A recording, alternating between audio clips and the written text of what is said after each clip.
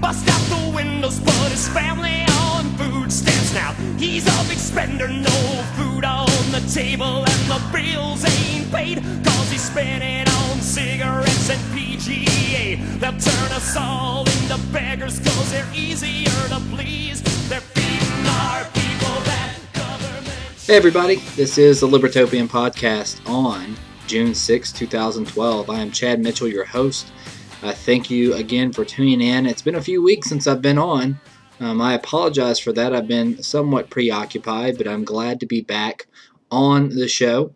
And uh, we've got a lot of news to cover. There's been a lot of developments uh, in a lot of different areas over the past couple of weeks, and I won't be able to fit everything into the show today, but I would like to cover a few uh, articles here and then also just Ron Paul news, uh, Bilderberg news. There's just a ton of news going on. So uh, let me get right into it. I first want to talk about Bob Chapman. Uh, some of you who are listening to this might know who Bob Chapman is, some of you might not. But Bob Chapman uh, was the writer of the International Forecaster. He was a frequent guest on many radio shows, including Alex Jones's show, and then also some other local shows, uh, smaller radio shows. The guy was just a fanatic. I mean, he would get on every show that he possibly could, uh, and and he was really a trailblazer. He really was. I am saddened by uh, the fact that Bob Chapman has has passed away. Um, you know, as the writer of the, the International Forecaster, it was just a few days ago that he wrote essentially his last uh, newsletter for the International Forecaster.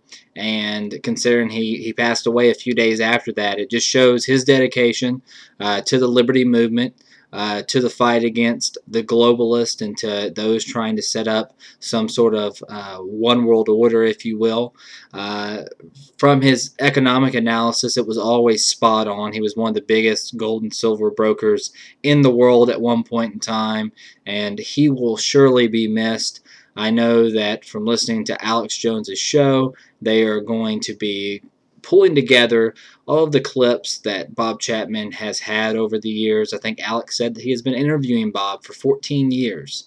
And so they're going to pull a lot of the clips together and somewhat do a, a montage, uh, a, a, visual eulogy, if you will, for Bob Chapman. So I look forward to that. Um, I wish Bob's family the best, and um, I thank Bob for all the memories and also all the information, the passion that he brought to the liberty movement. Um, as many of you probably know, this past weekend, it was Bilderberg, and it was in Chantilly, Virginia. Uh, there was big protest out in front. They they had a, police everywhere. They had a big black uh, I guess banners, if you will, that that blocked the hotel from view for, of the protesters and tried to keep them out essentially. And you've got major key players in the world economy meeting in secret there with key politicians as well. It is rumored that Mitt Romney was actually there on Thursday, although I don't know that for certain. Uh, he wasn't on the official guest list for Bilderberg. I do know that Mitch Daniels was, who's the governor of Indiana, and uh, that's interesting. I used to be a big Mitch Daniels fan, but I'm actually somewhat upset that, he was there. Um, I used to think he was, you know, a stalwart libertarian, but um, I think that more or less his, his true colors are coming out, and I think that really what they're doing is they're they're trying to set him up possibly as the VP VP pick for Romney. Not 100% sure on that, but that's that's my analysis at this point in time. Is it looks like it could be Mitch Daniels, it could be Marco Rubio still, and there's still an off chance it could be uh, Rand Paul. You know, I think that the globalists really like Mitch Daniels, so I think he's probably my number one pick. My number two pick would be Marco Rubio because of the, the Cuban and Latino vote and how important that is in the coming elections. And uh, Rand Paul has a liberty vote. He could probably, by you know, getting Ron Paul, not Ron Paul, by getting Rand Paul on the Ron Paul wouldn't do it. By getting Rand Paul on the ticket, he can get a lot of liberty activists to come over to the Republican camp or stay in the Republican camp, if you will, and vote for Mitt Romney, hold their nose and vote for Mitt Romney because they support Rand Paul. And um, So who knows what's going to happen there? But like I said, Bilderberg was a big thing this past weekend. You had a lot of mainstream media outlets that actually decided to cover the event for once instead of acting like it didn't exist. And so it's getting coverage, it's getting out there, and and hopefully in the future it will get even more coverage to the point to where some of these traders who are out there violating the Logan Act, who are you know, either either individual citizens in the United States who are negotiating uh, with foreign uh, leaders, or vice versa, foreign corporations negotiating with our leaders. Whatever the case is, it's all a violation of the Logan Act. If you don't know what that is, I would advise you to look up the Logan Act. I, I, most of you probably know what it is, but if you don't, please look it up. It's interesting. Um, so that's all I have on Bilderberg. Uh, there's plenty of information on the internet as far as what went down. Plenty of videos. Like I said, Alex Jones and them shot a lot of video this past weekend, and uh, there's tons of it up on their YouTube channel. I do want to touch on some articles here. Uh, Reason has an interesting article. Uh, the title of it is "Why We'll Never Run Out of Oil." and uh, it's an economics uh, piece by Reason. You know, Reason a lot of times uh, goes more the social libertarian route as far as their articles go, but essentially their uh, hypothesis, if you will, on this particular article is that Don Boudreaux, who's an economics professor at George Mason University, who is actually um, a big supporter of the Austrian school and of uh, Friedrich Hayek, Don Boudreaux has said that we will never run out of oil. And his hypothesis is that as oil becomes more scarce, obviously the price will increase. And it will increase to a point to where it will eventually become financially profitable and you know there will be the need in the marketplace for more alternative forms of energy and so the alternative forms of energy will come about naturally through the market process because as oil becomes more scarce people will use less of it because it will become more expensive. And then we can see natural gas or um, hydrogen or whatever it is that they're thinking of coming up with as a natural alternative or uh, another alternative to um, our energy needs will arise out of that naturally. So I actually agree with this to some extent. I'm not sure exactly how it will work. You know, the free market is great, and I'm a big advocate of the free market. The problem is, is you have so many shenanigans going on in the background. You have people who are trying to manipulate the markets. You have people who are trying to manipulate the currencies of the world, which essentially ends up manipulating the markets to some degree. So it's hard to advocate for a pure free market and then say this is the, the, the benefit of a, of a market economy at times because we really don't have a pure market economy. And then so you set yourself up for possibly being criticized later on when things do fall apart because of the state and because of state intervention and positive positive intervention into the market that you open yourself up for attacks that will see that free market it just doesn't work very well. You know, you guys, uh, all you free marketeers and free traders, you guys are crazy. It doesn't work. Um, but the reality is, we know it does work. Historically, it works. The problem is, is when you have a bunch of positive intervention, you have consequences that arise from those positive interventions, as Henry Hazlitt talked about in his Economics in One Lesson. So that's an interesting article. I would definitely check it out. Um, obviously, last night was a big night in politics, and I'm not a big political guy. I don't grandstand for the Republican Party or the Democratic Party or even the Libertarian Party. You know, I just like to talk about principles and I like to try to educate people and, and really talk about ideas more so than anything else. But last night, um, Walker in Madison, Wisconsin, uh, there was a recall election there, and they were basically the unions were mad at Scott Walker for all the union busting that he was doing, which I'm for 100%, especially for, you know, mainly just because it's public employee unions, and I don't agree with public employee unions at all. There shouldn't be public employee unions. And before I go into this, let me explain a little something about public employee unions. The point of a union and the reason why unions came into existence was essentially the fear, and I am not going to justify whether or not that fear was misplaced or not, But the initial fear which led to the idea of unions coming into existence was the idea that after the pursuit of profit, employers would unduly suppress workers' wages and make unsafe working conditions or lower working conditions simply to make a profit. Even if it was unsafe for the workers, and even if he was constantly lowering the workers' wage, he would do so to pursue profit. It made sense for the workers to join together and collectively bargain together and stand together and say no we're you know you're not going you're going to treat us with some human dignity. You're not going to walk all over us and treat us like slaves. And I'm for that to an extent. You know I don't like it when unions use the government use the political means of government to try to achieve their goals. But I think that there is definitely a place in the free market for people to voluntarily contract with one another uh, in the workplace and say, you know what, we're going to join together and we're going to demand to be treated fairly by this company. And there's nothing wrong with that. However, with public employee unions, the government is not a business. There is no pursuit of profit. So essentially, public employee unions, you're strengthening yourself to hold what the taxpayer hostage. You want to protect yourself and your salary and your pensions from the frugal taxpayer that's tired of paying for for all the garbage and all the benefits um, that, that that that you soak up. And some of it, you know, you're due. I get that, but a lot of it is you're not due. You know, it, it's you know a lot of these pensions and a lot of the benefits that some of these public employees are getting are not equivalent to what you would get in a free market job. They're not equivalent to that, and you know, like I said, to to blame Scott Walker solely for this is is really misplaced because Walker came into this position, and I'm not, like I said, I'm not a Republican grandstander. I'm not just, you know, trying to build up the Republican Party. I have my issues with the Republican Party. But he walked into a situation in Wisconsin. He made the tough decisions. He showed leadership. And he balanced the budget in Wisconsin.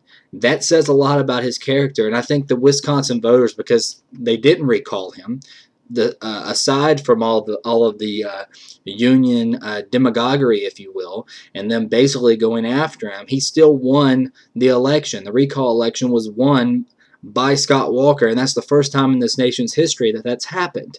And that's because the people in Wisconsin overall know that things have to change, that you cannot continue to spin like the Dickens and expect there to be a future for your children and a future for your grandchildren. There has to be a stopping point. There has to be a point where this nation becomes, as a whole, from the community to the state to the federal government, there has to be a point where you say enough is enough. We're going to stop spending money. We're going to start to produce things and save money and act frugally again and be responsible. Right now, as a nation, we don't do that. We spend like crazy. The government spends like crazy. Consumers spend like crazy. We run up huge trade deficits. It's not sustainable in the long run. We are living off of the past. We're living off of the past strength of the dollar because the dollar is the world reserve currency. We are living off of that. And one day it will not be there. And when it's not there, we will not have the industrial base that we need to sustain the current consumption levels that this country takes in at the moment. So that's my take on the Scott Walker situation in Wisconsin. Um, I think it's an interesting story. I think that you know overall it shows a change in the American culture that I find positive. Uh, there's a lot of political grandstanding going on with it to say, "Oh, Obama's done." Obama's not done, and it's a mistake right now to think that Obama is done. I, the, the the Republicans, from a political standpoint, if they think that this means that they can lay back and Barack Obama is finished for, they will be sorely mistaken come November. And I don't want Obama to be reelected. I don't really want Romney to be elected either, but I don't really have a choice in the matter. But if I had to choose, I'd say Romney would probably be the better candidate than uh, uh, than Obama. But it's not like he's that much better, right? So if I have to choose one, which I'm not saying I'm going to vote for Romney, I'm just saying that out of the two, Romney's definitely going to be the better pick. And if the Republican Party wants to make sure that Romney gets that nod by the American people, they cannot take Obama lightly at all. So, moving on to the next article, Michelle Obama um, is basically applauding uh, Bloomberg in New York with his new soda ban. So essentially, I think it's a 32 ounce. If you have a 32 ounce soda, uh, well, you won't have it. It's banned. You can't have a 32 ounce soda at all. So if you're poor and you have five kids and it's cheaper for you to get a 32 ounce soda and share it amongst all of your kids, you can't do that. You've got to buy, you know, individually maybe 16 ounce or 8 ounce, which is probably going to cost you another arm and a leg. So it's just more big government from these liberal states that they're not liberal, they're they're they're they're authoritarian and they're trying to run the public citizenry into the ground and basically turn zombies into mush because I mean most of their citizens are already zombies but they'll basically just be running them into the ground underneath the oppression of the state and so uh, Michelle Obama is applying it even though she says there will be no federal ban on soda uh, she's obviously on this health kick, you know. And I saw a book the other day. I was in Barnes and Noble, and Michelle Obama's got a book out about home home gardening. Can you believe this shit? Home gardening, and what, what what's happening? The the um, the uh, USDA, the EPA are going after these farmers. Oh, you you sell raw milk? You have milk on a farm? Um, you have this, you have that on a farm? We're coming after you, baby. If you're not part of Big Agro, we're gonna take you down to Chinatown. And but at the same time, Michelle Obama saying we need the home garden. We need people out there to do their own gardening.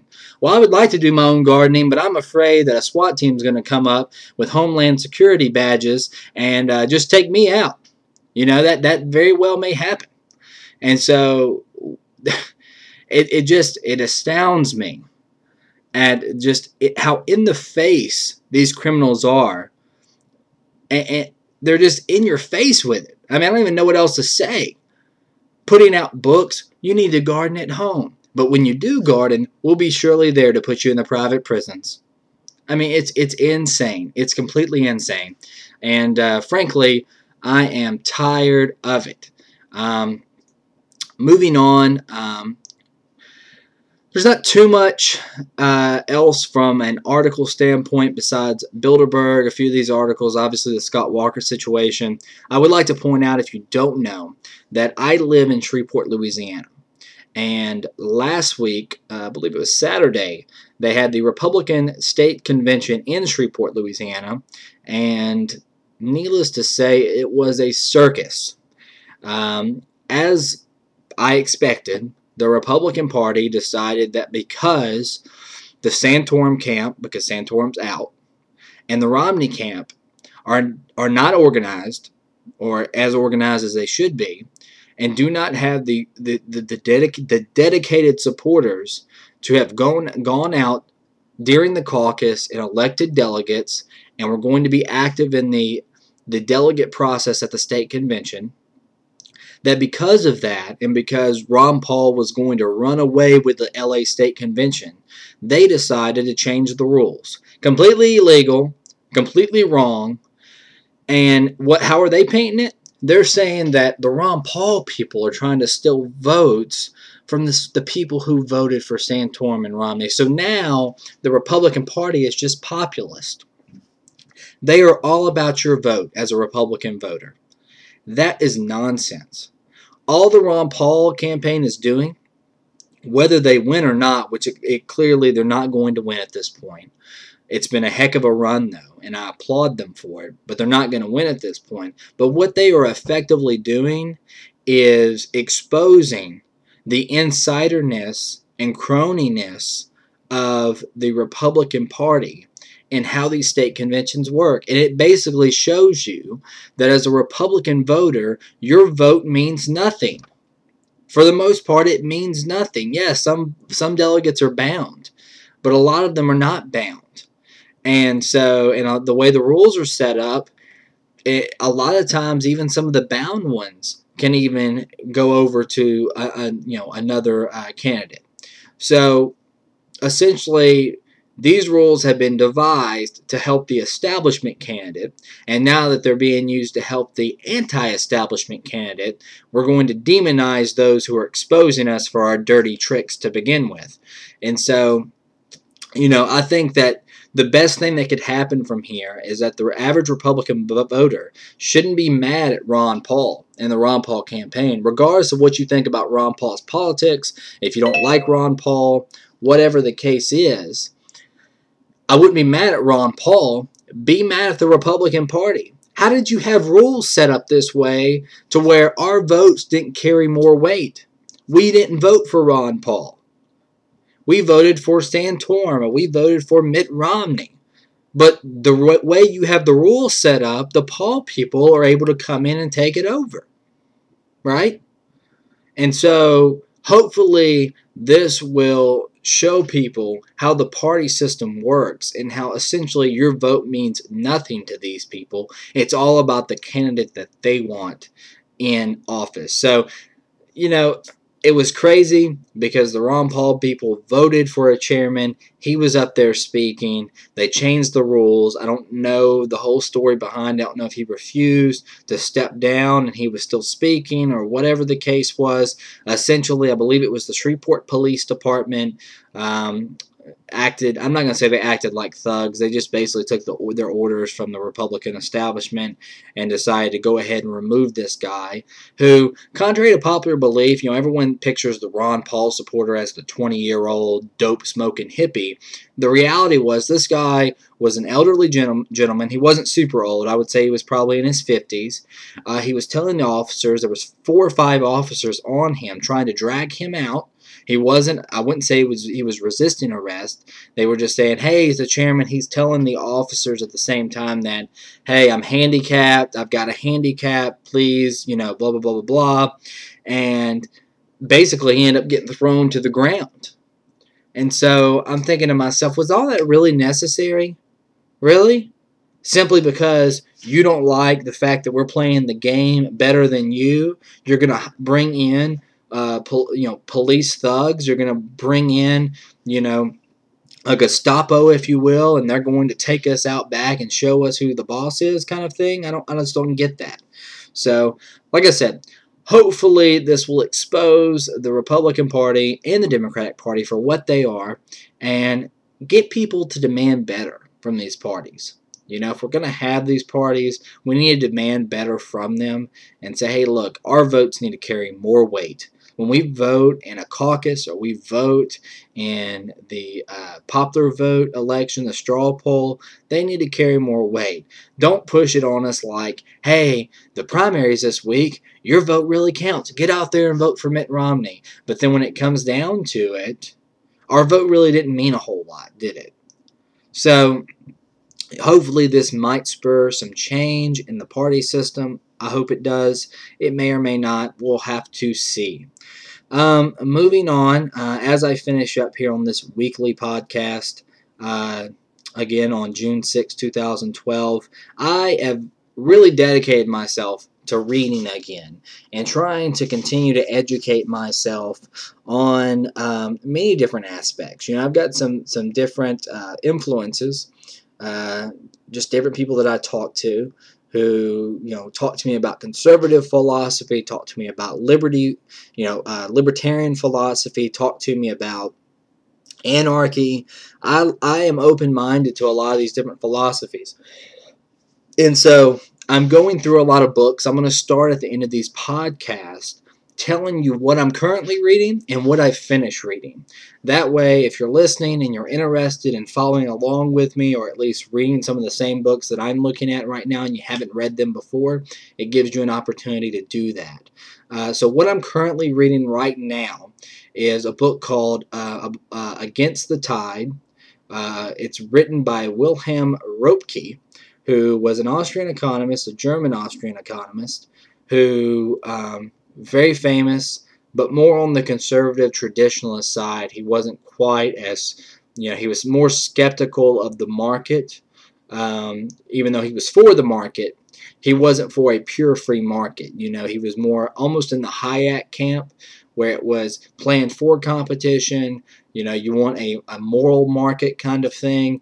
But it's an interesting book. I will say that if you're interested in how trade works and how the trade deficit, trade surplus situation works, and how the balance of payments work, this eh, is an excellent book to read. He really it's it's it's difficult to follow. You have to understand the terminology, but he's the first person to really break down the balance of payments in a way that I believe is accurate and uh, and he breaks it down flawlessly. Another book that I'm currently reading because I'm reading two of them at the time, and this this book is going to take me quite a while to read. Read it's I believe 13 or 1400 pages long.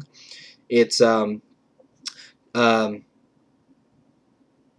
Tragedy and Hope. I, I had a blank out there. I couldn't remember if it was Hope and Tragedy or Tragedy and Hope. Tragedy and Hope by Carroll Quigley, who um, this is more of a cons uh, uh, conspiratorial book for a lot of people, uh, but I find the history in this book to be fascinating.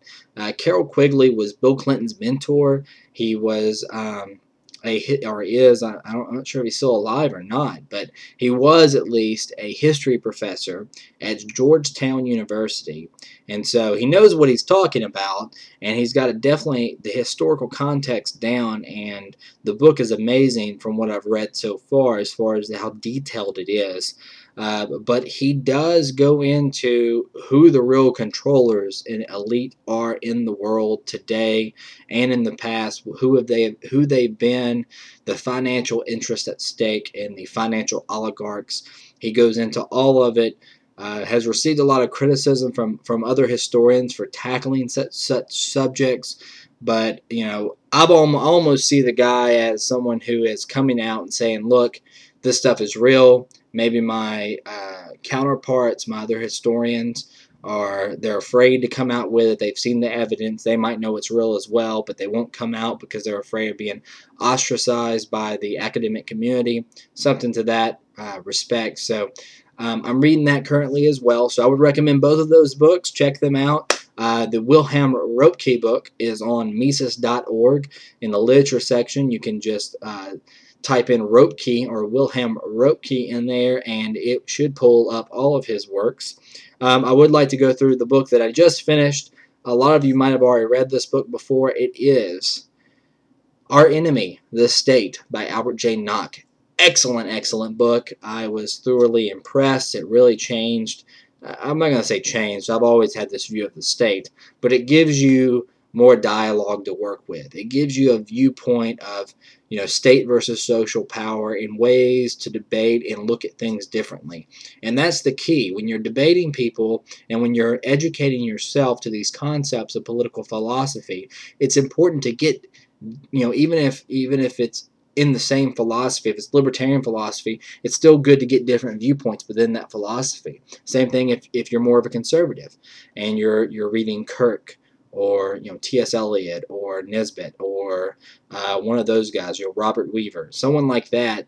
You want to read a lot of those guys because all even their philosophies aren't identical, and you can get different perspectives, and so that's going to help you out. It's going to help you learn a lot, and then you can really nail down what you really believe and what you take away from each one of those philosophies and uh, incorporate into your own belief system. So um, that's all I have on that front. Um, I will try to do that every week. Um, I don't. I, I work a full time job as well as do this podcast, so I, I, don't have all day to read books. Although I would love to read books all day long, but um, as I get finished with them, I will let you know and, and, give somewhat of a review of the book that I just finished as well. So, other than that, that's all I have.